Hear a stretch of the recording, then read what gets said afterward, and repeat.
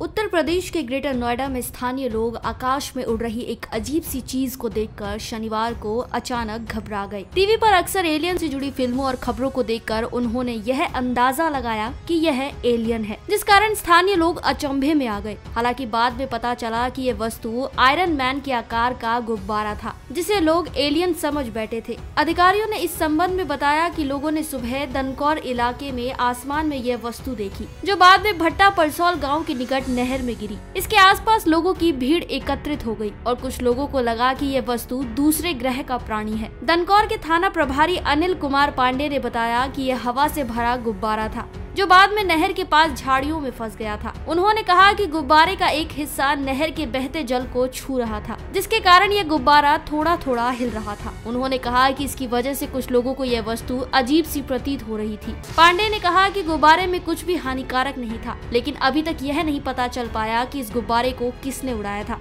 हमारी आज की इस रिपोर्ट में बस इतना ही। मैं श्वेता चौहान, पंजाब केसरी, दिल्ली।